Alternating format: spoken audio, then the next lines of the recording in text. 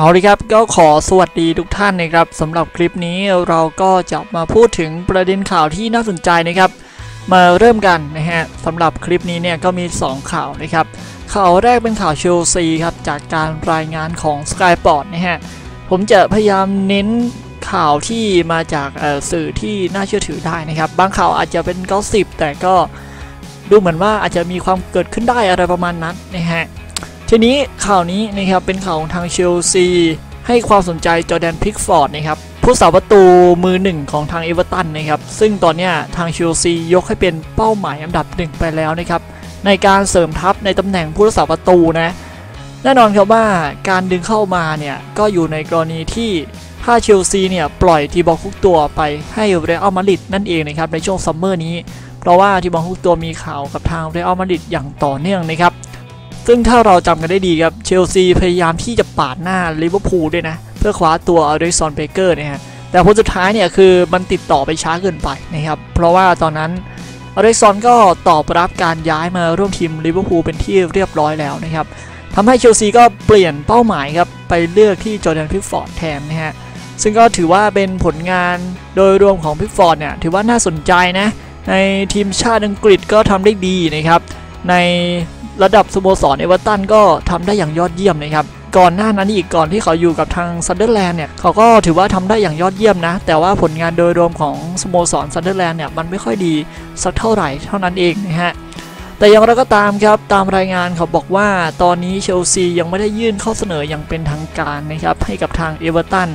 ไว้พิจารณานะครับเนื่องจากว่าก็เชลซีกำลังรอดูเกี่ยวกับความเป็นไปได้ของทีมบอลคุกตัวก่อนนะครับว่า อนาคตของผู้สาประตูมือหนึ่งของทีมเนี่ยจะเอาอย่างไรนะครับ จะมีความแน่ชัดแค่ไหนในเรื่องของอนาคตจะย้ายหรือจะอยู่นะครับ เพราะว่าก่อนหน้านี้ก็รู้กันครับคือทีมบอลคุกตัวมีทีท่าว่าจะบอกปัดสัญญาฉบับใหม่กับทางเชลซีมันก็ทำให้ไม่มีทางเลือกอะไรมากนักนะครับ ถ้าเชลซีไม่ปล่อยทิโบต์กูร์ตัวในช่วงซัมเมอร์นี้ ถ้าเลื่อนไปในช่วงซัมเมอร์หน้าก็จะกลายมาเป็นว่า ทิโบต์กูร์ตัวจะย้ายทีมได้แบบฟรีๆนั่นเองนะครับนี่ก็คือข่าวของทางเชลซีครับที่มีข่าวน่าสนใจมากเลยทีเดียวนะครับสำหรับข่าวนี้นะฮะก็ต้องรอติดตามกันต่อไปแล้วกันนะครับทั้งอนาคตหลักๆเลยเนี่ยผมคิดว่ามันเป็นเรื่องของอนาคตของทิโบต์กูร์ตัวก่อนนะครับถ้าชัดเจนเร็วแค่ไหน ก็จะได้คำตอบเกี่ยวกับผู้รักษาประตูรายใหม่เร็วเท่านั้นนะครับ แล้วก็ช้าไม่ได้แล้วนะครับณตอนนี้เนี่ยคือ ก็ตอนนี้ตลาดซื้อขายนักเตะมันใกล้ที่จะปิดตัวลงแล้วนะครับ ก็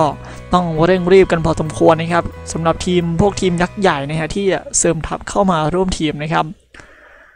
ข่าวต่อมาเนี่ยก็เป็นข่าวของทางอเล็กซานเดอร์โกโลวินนะฮะก็เป็นหนึ่งในนักเตะที่มีข่าวเชื่อมโยงกับทางเชลซีนั่นแหละนะครับ ก็ล่าสุดครับได้มีการเปิดตัวกับทางโมนาโกเป็นที่เรียบร้อยแล้วแหละแล้วก็ถือว่าเป็นการเซ็นสัญญาระยะยาวถึง 5 ปีด้วยกันสำหรับโมนาโกนะฮะ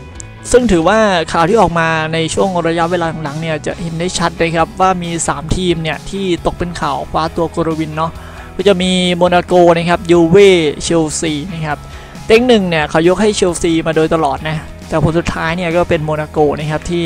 หวานล้อมนักเตะรายนี้เข้าร่วมทีมได้อย่างเป็นทางการนะฮะก็มีการประกาศชูเสื้ออะไรต่างๆเป็นที่เรียบร้อย ผมก็เอารูปคร่าวๆให้ดูแล้วกันนะครับ ไม่ต้องเอ่อเอาอะไรมาให้ดูเยอะแยะมากมายนะฮะมันชัดเจนครับว่าโกโรวินใส่เสื้อโมนาโกแล้วสวมเสื้อเบอร์17นะครับเป็นที่เรียบร้อยแล้วแหละนะฮะก็ประกาศกันสั้นๆ แค่นี้พอนะครับในเรื่องของบทสัมภาษณ์อะไรต่างๆ คือสัมภาษณ์ปกติครับก็คือแบบเอ่อผมมีความสุขที่ได้ย้ายเข้าร่วมทีม RS Monaco อะไรประมาณนั้น นั่นคือความฝันนั่นคือสโมสรที่ยิ่งใหญ่นะครับปกตินะครับเป็นการสัมภาษณ์แบบเหมือนพวกนักเตะทั่วไปเนี่ยย้ายเข้าร่วมทีมนั่นแหละนะฮะ ไม่ไม่ต่างอะไรกัน พวกนี้นะในเรื่องของค่าตัว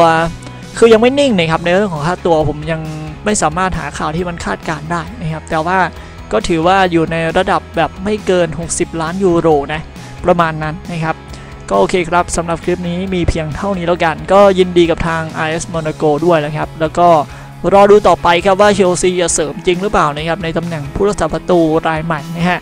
สำหรับคลิปนี้มีเพียงเท่านี้แล้วกันเอาไว้เจอกันคลิปหน้านะครับ